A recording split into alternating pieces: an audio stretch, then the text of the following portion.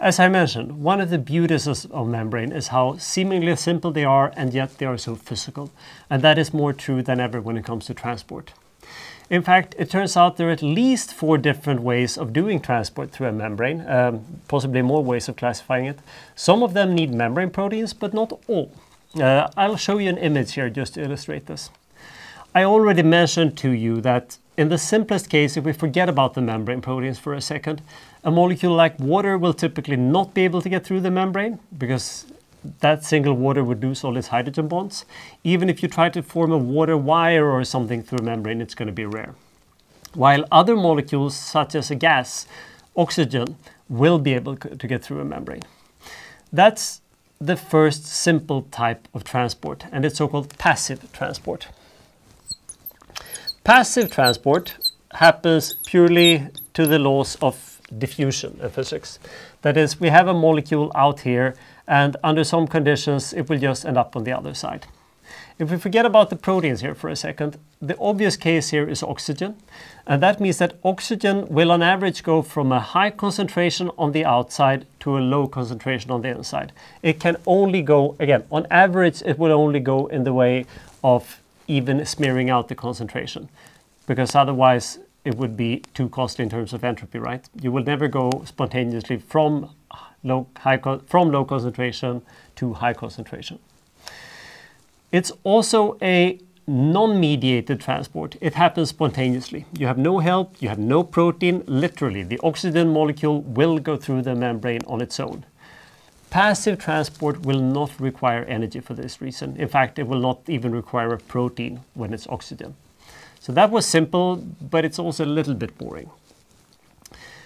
The other simple case you can imagine, you can imagine something like a, an ion.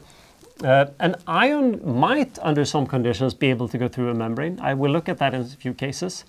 But the ion itself, well,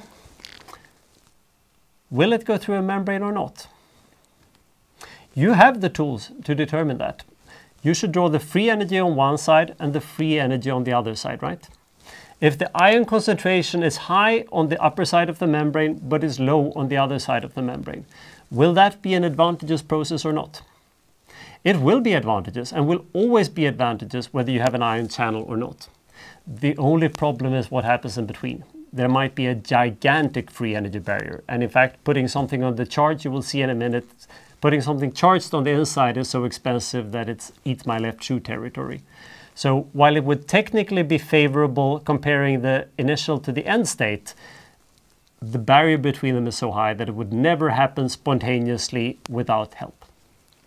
That help exists in the form of a channel. And we're going to be looking at that channel in a second. So that there's some sort of environment that makes it easier for the ion to go through the membrane.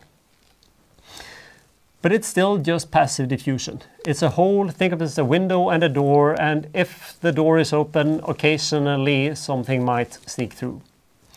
But it can only even out concentrations. In some cases, we might have something that is mediated. Uh, and the key thing is between mediated versus non-mediated. Leave some space here. Um, so these are non-mediated, but you can also think of mediated transport. So mediated transport is somebody who needs help. And this help could be like, you might have a molecule that sometimes looks like this and sometimes looks like this. So something will actually have to change. Somebody might have to think of this like a rotating door or something. That would, for instance, be transporters. And again, we will come back and talk to them later. But mediated transport per se can still be passive. It does not necessarily require energy. It's just I might have some really complicated process here that doesn't just open the door, but makes sure just, just one person at the time can go through the door. And the door itself might be a revolving door. That will also require a protein, and we will look at some examples like that shortly. But it's still passive transport that it will only go from high concentration to low concentration on average. One molecule now and then might go the other direction, but it does not need energy. There is one more type of transport though. We can have active transport. In fact, we need active transport. If all we had was passive transport, life would cease because these processes would only happen until we've reached equilibrium, and at equilibrium we're dead.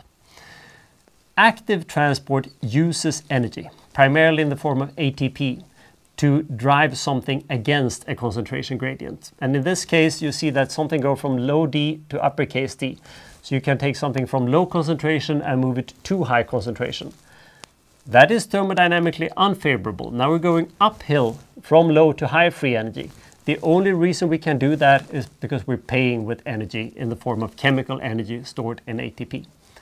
So those are the four different types of transports you should know. You have passive transport, or active transport, where active requires energy. You have non-mediated transport, that is just something statically, not moving, either directly through the membrane or a channel. But we can also have mediated transport, where protein actually has to go through and change its conformation. You need a bit of help. But just because it's mediated doesn't necessarily mean that it requires energy in form of ATP.